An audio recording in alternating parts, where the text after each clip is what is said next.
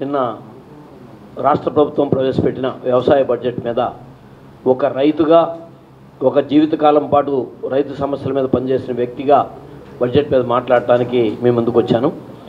So పంతొమ్మిది వందల యాభై నుంచి పంతొమ్మిది వందల అరవై వరకు తీసుకుంటే మన దేశ బడ్జెట్లో ప్రతి రూపాయికి పదిహేను పైసలు వ్యవసాయానికి కేటాయింపు ఉండేది. అది కాలక్రమేణా వ్యవసాయానికి కేటాయింపులు పెంచుతున్నామని ఫిగర్లుగా చూపించినప్పటికీ కూడా పారిశ్రామిక రంగాలు సేవా రంగాలు సంక్షేమ రంగాలకి పెరుగుతున్న కేటాయింపులు పెరగడంతో అది మూడు నుంచి నాలుగు శాతానికి వచ్చేసింది. అంటే ప్రతి వంద రూపాయల్లోనూ పదిహేను రూపాయలు వ్యవసాయానికి కేటాయింపు ఉన్న స్థాయి నుంచి మూడు నుంచి నాలుగు రూపాయలకి కేంద్ర బడ్జెట్లోనే వచ్చేసింది. అయితే రాష్ట్రాలకు వచ్చేటప్పటికి రాష్ట్రాల్లో కూడా దరిదాపు అదే పరిస్థితి. కానీ రాజశేఖర రెడ్డి గారు ముఖ్యమంత్రిగా ఉండగా రా దేశంలో ఎక్కడా లేని విధంగా ఉచిత విద్యుత్ని ఒక ప్రెస్టేజియస్గా తీసుకోవడం మూలంగా అనేక కార్యక్రమాలు ఆయన రైతాంగానికి సంబంధించి కార్యక్రమాలు అమలు చేయడం మూలంగా అది ఏడు నుంచి ఎనిమిది శాతం బడ్జెట్లో కేటాయింపులకు వచ్చింది. అదే ఇప్పుడు నిన్న ప్రవేశపెట్టిన బడ్జెట్ తీసుకుంటే మా టోటల్ బడ్జెట్ రెండు లక్షల ఇరవై ఏడు వేల తొమ్మిది వందల డెబ్బై నాలుగు పాయింట్ తొమ్మిది తొమ్మిది కోట్లు. దీంట్లో వ్యవసాయ బడ్జెట్ కేటాయింపు ఇరవై ఎనిమిది వేల ఎనిమిది వందల అరవై ఆరు పాయింట్ రెండు మూడు కోట్లు. అంటే టోటల్ బడ్జెట్లో పన్నెండు పాయింట్ ఆరు ఆరు శాతం వ్యవసాయ బడ్జెట్ కేటాయింపు చేయడం జరిగింది. ఇది చాలా చాలా ఇంపార్టెంట్ అంశం. కేటాయింపులే లేకుండా వ్యవసాయానికి ఏదో చేశామని భ్రమలు కల్పించి మోసం చేసే పరిస్థితి కంటే కూడా బహుశా ఆంధ్రప్రదేశ్లో ఉన్న రాష్ట్రాల్లో వ్యవసాయానికి కేటాయింపు ఇది అత్యధిక కేటాయింపు ఇది.